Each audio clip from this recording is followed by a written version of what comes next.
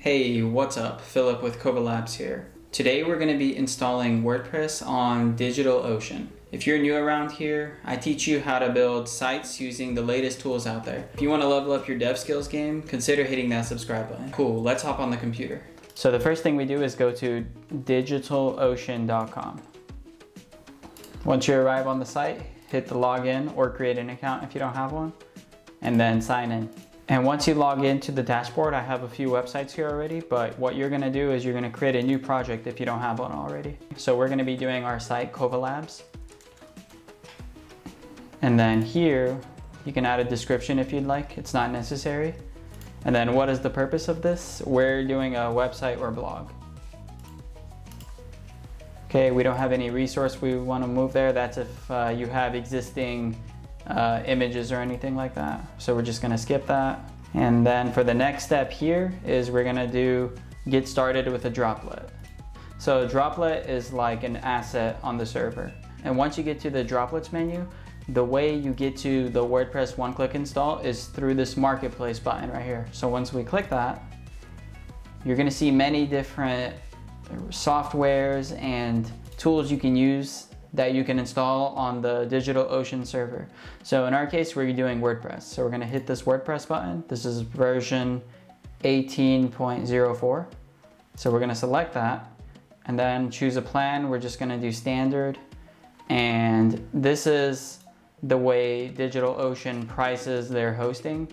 We're gonna do the cheapest one for now, and this cheap one is actually quick. So if you are looking for a hosting plan, I would actually highly recommend this. I used the cheapest plan on all of my sites here and it runs really quick. So we're gonna select that, $5 a month. Uh, we're not gonna do any backups here. You can pick any of these depending on where you're located. So if you're outside of the United States, choose which server is closest to most of your users. Okay, and if we scroll down here, you don't have to worry about any of these SSH keys. We don't need that. Okay, and great. This is a host name.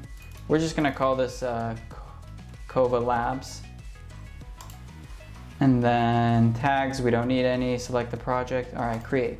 Once you create your uh, droplet, it's gonna have this progress bar where it's creating your hosting server along with the WordPress install.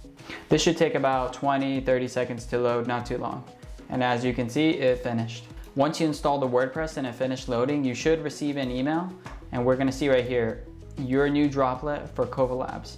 And you're gonna get this email with the username, a password, and an IP address. We're gonna need this to log into the data server. So the way we log in is we click on Kova Labs here, and we're gonna use the console they have built in here. So once you're in your project, hit that console button and you're gonna see the login information. It's asking us to log in. So if we go to our email here, the login is root. So we're gonna, we can just write that out, root, enter, and the password. We're just gonna copy this and then we're gonna paste it. It doesn't show the password was pasted, but it did get pasted. Okay, and then current password, we're gonna paste the same one again. And then enter your new password. So I'm gonna type that out, enter, type it out again, enter. You don't see it, but it does write the password. Great, so now it's asking us for the website name that we're gonna be hosting. So if you don't have one, don't worry about it. The site is already ready to go. And it, we can test that now. If we click, if we copy the IP address, open it in a new tab here, we can see that this is the IP address that is here and the WordPress is ready to be installed. Okay, once you have your information filled out, click install WordPress and there we go, we have it installed. So we're gonna hit the login button. Our username was Philip and our password.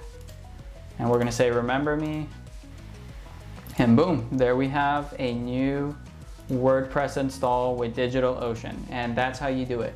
It's a fairly simple process. It takes about five minutes to do, really simple. If you want to change your uh, domain name to be not an IP address and an actual domain name, the way you do that is you go to your uh, project you created here, the droplet, and you click on uh, right here, the three dots, and you're gonna see add a domain.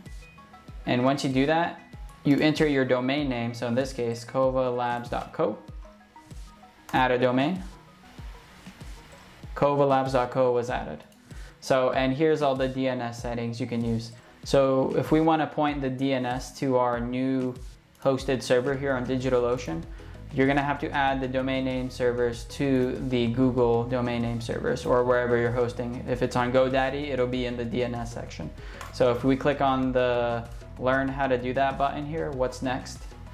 And if we scroll down here, if you're on GoDaddy, it gives you instructions and here's the domain name servers. If you're on Google like I am, you can click this Google button here and you can see here, enter the name server. So it's ns1.digitalocean.com and then one, two, three, they're the same thing. So we're gonna copy this, put it into our name server, add another one, copy it, replace it with a two, add another one, and we have number three here. Save, and there we go, we added the DigitalOcean name servers to our Google Domains account. There is one more step you need to do. You need to go into your WordPress dashboard, go to settings here, and then change your site address to be your domain your domain name. So in my case, it was kovalabs.co. And then we're gonna click save. And this is telling WordPress that, hey, this is our domain name, not this IP address here that we generated with DigitalOcean. Then it'll start working within 24 hours after updating the DNS in your Google domain name servers. And that's my tutorial slash guide on how to get WordPress working on DigitalOcean. So if you like this video, I'd really appreciate it if you hit that like button. And if you want to stay up to date with web technologies and softwares, tools, etc., etc., tips and tricks, hit that subscribe button and I'll keep you in on the loop on some of the latest things coming out. Thank you for watching this video. I hope it was helpful to you. See you next time.